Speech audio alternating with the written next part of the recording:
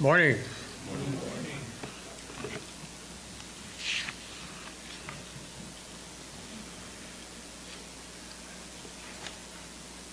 We certainly are blessed as a people. And uh, I'm not just talking about our country. I think we probably do have the greatest country in the world. Uh, I've seen some countries. Uh, you've probably been around. Some of you have seen some different companies. But I've never found one that could match up to our country. That is a blessing for sure. We have many blessings as Christians. We have a God that loves us so much that he gave his only son that we could have life eternal. He gave us the Bible. The Bible contains everything that we need to know to be able to stand righteous before God. And I'll tell you, without God, we cannot stand righteous on our own. It's not possible. The Bible means so many different things to us. Uh, we are all familiar with certain characters and events that have happened in the Bible that's recorded in the Bible. We sing songs as children in Vacation Bible School on the Joy Bus of the different events and, and characters that have been a part of our lives if we've been in the church all of our lives. I want to go over a few of them. We've got a character in mind that we're going to talk about today, but just to give you an idea of all the things that we could have picked from, the very beginning, the creation of Adam and Eve. Wonderful, wonderful place. What a wonderful time. It was created for man, and it was perfect. Everything was perfect. And then one of the darkest days in the world came when sin came into being, into this world. We had a teacher that God sent to Nineveh. His name was Jonah. Jonah wasn't happy about going because he thought that Nineveh did not deserve and could not be converted even if, even if he did go. So on the way there, on the boat, there was a storm, and Noah confessed to the crew that it was because of what he had done that he was thrown overboard and swallowed by a big fish and spit out. So Jonah got the message, didn't he, that he needed to do what God told him to do. Shadrach, Meshach, and Abednego refusing to bow to the king's image and was thrown into the fiery furnace. And God was with him, sent an angel. And when they came out, they didn't even smell like smoke. Daniel in the lion's den, faithful to God. But also there was Lot's wife when they were told to get out because God was going to destroy the city. An angel told her not to look back, and she did. And God turned her into a pillar of salt. Moses leading the children out of Israel, or out of Egypt. Our character is going to come from this story it's one that you might not think of and not one that a name would come to your mind when we talked about the Israelites leaving Egypt. We know after the 10 plagues, Moses led the exodus of the Israelites out of Egypt and across the Red Sea. And after they wandered in the wilderness for a while, they based themselves at the base of Mount Sinai and that's where Moses received the Ten Commandments. During that time, while Moses was on the mountain, the people began to stir and murmur about their situation and what was going on uh, they were not happy with, and they convinced Aaron to build a golden calf that they may worship the golden calf while Moses was away. And when they did that, God was very displeased with them and had Moses or had, had Aaron uh, pound the calf into dust and made the people drink it and became very ill. And it was at this time that God talked to Moses and said, Moses, I want you to send 12 spies into the land of Canaan. And this is the land that God was going to give them. And they were to uh, uh, traverse the land up and down, checking out uh, the people, uh, the cities, what kind of security they had, things like that, just to see what kind of land it was. And they was gone for 40 days. And when they came back, the 12 spies give this report. It was both good news and bad news. A land of milk and honey, as evidenced by the fruit that they brought back. They brought back some grapes from that land that they had to carry. Two men had to put a stick through it, and two men had to carry it. That's how bountiful that their land was. They told him, they said, Numbers 13 and 27, then they told him and said, We went to the land where you sent us. It truly flows with milk, and this is the fruit therefrom.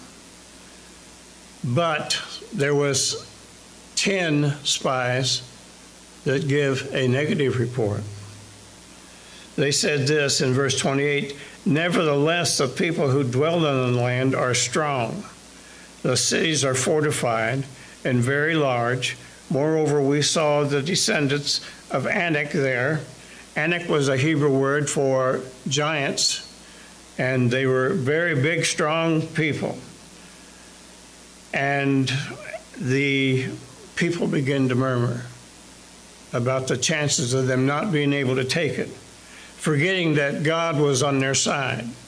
And so far, God had led them through all this time. And that now that they were at the border of Canaan and ready to take it, they begin to murmur. And one of the, uh, the spy, Caleb, said this. Then Caleb uh, quieted the people before Moses and said, Let us go up at once and take possession for we are well able to overcome it. But the people begin to murmur and say that we are not able to go against the people, for they are stronger than we. And they gave the children of Israel a bad report of the land which they had spied out, saying, The land, though uh, which we through which we have gone as spies, is a land that devours the, its inhabitants, and all people whom we saw in it are men of great stature. So the people, it got worse and worse as they went along and become fearful. And they was ready to stone Caleb and Joshua and, and to select a new leader to lead them back to Egypt. So this in turn as it got worse and worse, God was very displeased with the people. And he brought uh, together uh, those that had gone over to spy, and 10 of them were killed. The two that brought the good report, saying that it was true that they did have well fortified cities. There was giants there, very big, strong men, uh, that they would have to fight against, but they forgot about God being on their side, that God was with them and had been all this time. So uh, as they, uh, uh as God uh, came to Moses, he began to say, "This is what your punishment's going to be. You'll not be able to enter into Canaan. You're going to be wandering in the desert for 40 years, and your carcasses will lay in the sand in the desert instead of getting to come to this land. But he did say this about Caleb. He said, What about my servant Caleb? The Lord spared Caleb because he had followed me fully. He said he had a spirit of a different kind, and that was a believing spirit in his God. He was faithful to his God, and he uh, for, never flinched when it came to telling the people that they were going to be able uh, to take uh, that uh, land. And here's what God said He said, I am giving the land on which he walked, that is Caleb, because he wholly uh, followed the Lord. He wholly followed the Lord in all things. In verse 14, it says that Hebron therefore became the inheritance of Caleb, the son of Jephunneh, because he wholly followed the Lord God of Israel. What a wonderful epitaph that would be for your stone he wholly followed the Lord. What does it mean to wholly follow the Lord for us? You know, we as Christians have that same charge, don't we? We have that same charge that Caleb had. And we need to have that faith, that same desire to serve God, and that same feeling to know that God is with us and there's nothing that we can't do. We know that Caleb followed the Lord in the wilderness when there was hard times, when food was scarce, but God always provided. He always took care of them. We have some other examples too of, we talked about Lot's wife turning back uh, and became a pillar of salt because she went against what God told her. And also, Paul talks about the Galatians that were bewitched in Galatians, uh, the third chapter, beginning with the first verse. O foolish Galatians, who has bewitched you that you should not obey before whose eyes Jesus Christ was clearly portrayed among you as crucified? So, one of us who follow Jesus today, uh, how about the youth? What does Jesus say about the youth. Uh, let no one despise your youth, but be an example to the believers in word, in conduct, in love, in spirit, in faith, in purity.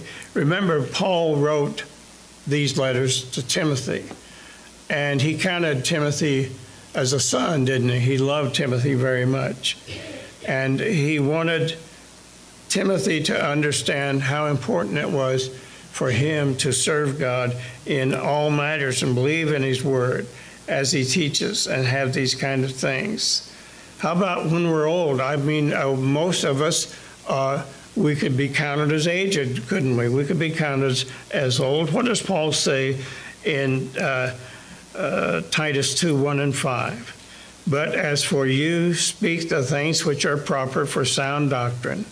Now, he's talking to the older people that the older men be sober, be reverent, be temperate, sound in faith, in love, in patience. The older women likewise, that they be reverent in behavior, not slanderers, not given to much wine, teachers of good things, that they admonish the young women to love their husbands, to love their children, to be discreet, chaste, homemakers, good, obedient to their own husbands, that the word of God may not be blasphemed. The book of Psalms, the 92nd chapter, the 12th to the 15th verse says this The righteous shall flourish like a palm tree, he shall grow like a cedar in Lebanon. Those who are planted in the houses of the Lord shall flourish in the courts of our God. They shall bear fruit in old age. They shall be fresh and flourishing, to declare that the Lord is upright. He is my rock, and there is no unrighteousness in him.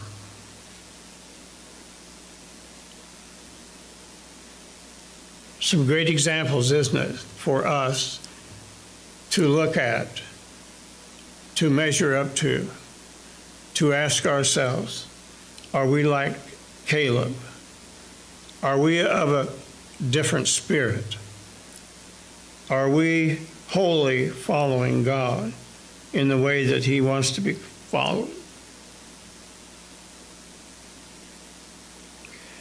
To follow Jesus uh, with all our heart, I think it's very important uh, that we spend time in the Word. You know, in order for us to know about God and what God wants for us, we have to know what He says in His Word. We know that there was a time, uh, we have a perfect role uh, for that, and of course, that was Jesus. And He was speaking to the Pharisees, and they was trying to trip Him up and cause Him trouble.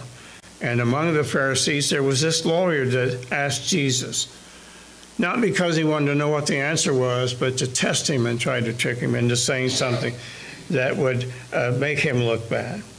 In Matthew, the 22nd chapter, the 36th through the 38th verse says this Teacher, which is the great commandment in the law?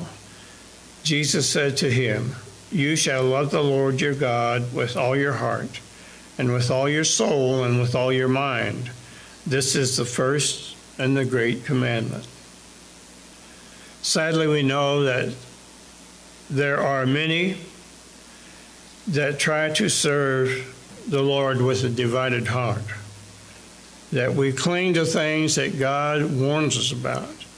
We cling to things of the world and try to fit those things in with our, uh, with our uh, religion, with our Christianity.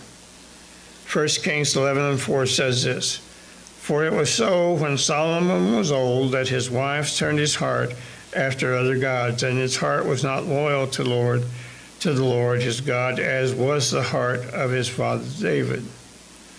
Now we know that Solomon loved God.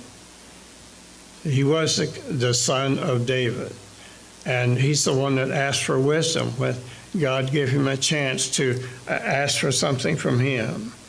And so God gave him wisdom, and he was acclaimed for that for a long, long time. But it says, as he got old, his heart was changed. Someone changed his mind, and he began to worship those idols that his foreign wives had brought with them. Sadly, we think that those kind of things maybe couldn't happen to us, but they can, can't they? Even after we are old, that we can be influenced to go a different direction. In the epistle of James, we find in chapter 4, verse 4 Adulterers and adulteresses, do you not know that the friendship with the world is enmity with God? Whoever therefore wants to be a friend of the world makes himself an enemy of God. What of us today that follow Jesus? Are we going to follow him with all of our hearts and with all of our minds? John 14, 15 says, If you love me, you'll keep my commandments. So we need to follow our Savior with undivided affection. Do not love the world or the things in the world. If anyone loves the world, the love of the Father is not in him.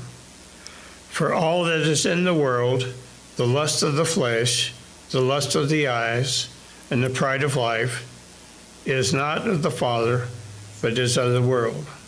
And the world is passing away, and the lust of it, but he who does the will of God abides forever. 1 John 2:15 and 17 through 17. So again, we ask ourselves the question, are we going to follow our God with all our hearts, with all our might, like Caleb, followed the Lord despite the dangers that confronted him. He was willing to face those giants that the other 10 talked about. There we saw the giants, and we were like grasshoppers in our own sight, and so we were in their sight. Remember what Caleb said that his thought was that if Jesus was with us, that we could conquer them. He was willing, even in his old age, Joshua 14:10. And now behold, this is when Caleb has already taken his inheritance in that land and is now 85 years old. And now behold, the Lord has kept me alive as these 45 years ever since the Lord spoke the word to Moses while Israel wandered in the wilderness. And now here I am this day, 85 years old. As yet I am as strong this day as on the day that Moses sent me. Just as my strength was then, so now is my strength for war, both for going out and for coming in. Now therefore give me this mountain of which the Lord spoke of in that day, for you heard in that day how the Anakim were there, and that the cities were great and fortified. It may be the Lord will be with me, and I shall be able to drive them out, as the Lord said. So here Caleb is saying that I'm 85 years old, and God has kept me as strong as, and I know that we can conquer this last battle for this land. And he was willing uh, to do that. He offered to do that. I think that we have to be awfully careful about when we get older, when we think that there's nothing that we can do, because there is things we can do. You have to set your mind to doing it. And there's a lot of opportunity in Pittsfield for people our age to show others that God loves them and that they need their son Jesus Christ in their life. Remember when the Apostle Paul was confronted by the maiden when Jesus Christ was being crucified, being on trial, and she pointed him out as one of the people that was with Jesus. And it's really disheartening when you think about Peter that Jesus loved so much and often said so and that he had been with him the whole time, that he was teaching and preaching the word. But yet, from fear, from total fear, he denied the Savior and made statements of not knowing him, not even knowing him. Of course, Peter afterwards was very repentant and very sorry for that. But still, we can be like Peter, can't we? In, in some of the uh, silliest places where we'll deny being a Christian. Uh, I don't know how you feel about uh, being a Christian. Uh, are you embarrassed to tell other people? Uh, are you embarrassed to uh, have a Bible in plain sight in your home? Uh, it's not that we don't care and that we don't love God, but we are not able to overcome the fear of people thinking something about us because we're a Christian. And that is what God is uh, uh, talks about so many places here about uh, how we need to stand and stand firm in the uh, fifth chapter of Matthew, uh, where the uh, Beatitudes are the very last one, it says, Blessed are those who are persecuted for righteousness' sake, for theirs is the kingdom of heaven. Blessed are you when they revile you and persecute you and say all kinds of evil against you falsely for my sake. Rejoice and be exceedingly glad, for great is your reward in heaven. For so they persecuted the prophets who were before you. So we have to ask this uh, question Shall we follow Jesus like Caleb followed Jesus? Are we keeping our eye on Him? Does our faith grow as we know that Jesus is with us and loves us?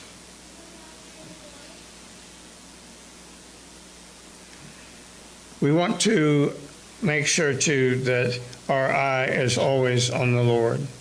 Hebrews, the 12th chapter, beginning with the first verse, says this Therefore, we also, since we are surrounded by so great a cloud of witnesses, let us lay aside every weight and the sin which so easily ensnares us, and let us run with endurance the race that is set before us, looking unto Jesus, the author and finisher of our faith, who for joy that we set before him endured the cross, despising the shame and is set down at the right hand of the throne of God. For consider him who endured such hostility from sinners against himself, lest you become weary and discouraged in your souls.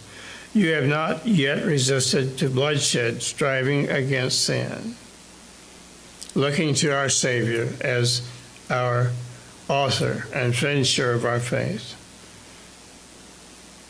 I hope that we have that different spirit. I hope people could say that about us.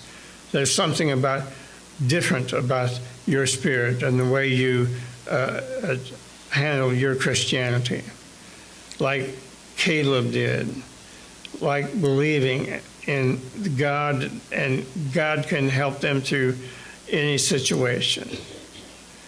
Have that different spirit that Caleb's got. I hope we can say that. Philippians 4:13 says, "I can do all things through Christ which strengthens me." And we have to believe that, don't we? I can do all things through Christ which strengthens me. I can face all things that comes to me in this world. Not because I'm strong, but because I know that God is with us. And no matter what, in the end, if we stay faithful, we have eternal life that will not include any of those things that hurts us or makes us sad or causes us to cry because he loves us so much and he's prepared a place for us. Ephesians 6:10 and this will be our final scripture. Finally, my brethren, be strong in the Lord and in the power of his might. Put on the whole armor of God that you may be able to stand against the wiles of the devil. For we do not wrestle against flesh and blood, but against principalities, against powers, against rulers of the darkness of this age, against spiritual hosts of wickedness in the heavenly places. Therefore, take up the whole armor of God that you may be able to withstand in the evil day, and having done all you can stand.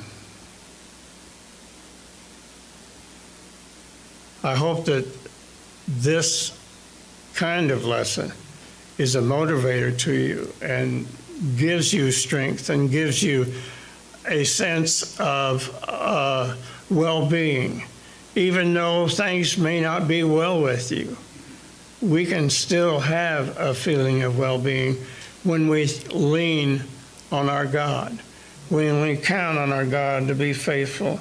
We know that God will be faithful. We have to ask ourselves are we going to be faithful to God? I didn't tell the truth about the scriptures. I want to read one more. Ephesians, the third chapter, the 19th to know the love of Christ, which passes knowledge, that you may be filled with all the fullness of God. And brother, I believe that, brothers and sisters, I believe that's that's where we need to be. Not counting on ourselves for anything, but leaning on the power of God to carry us through. I believe that Jesus Christ is the Son of God and I believe that he died for our sins.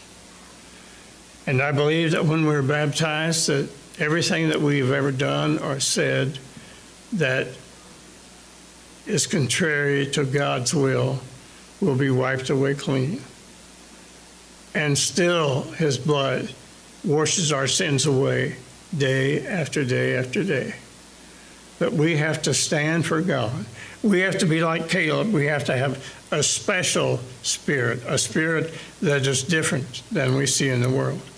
We have to have a desire to serve God and to want to be a part of his church. And I hope that today that if you have something that is weighing on your mind, that we can help you with with prayer. Or if you're not a Christian and you would desire to be baptized and put Christ on in baptism and be added to the church by Jesus, the Son of God, then we give you that opportunity also to, today as we stand and sing the song that's been selected.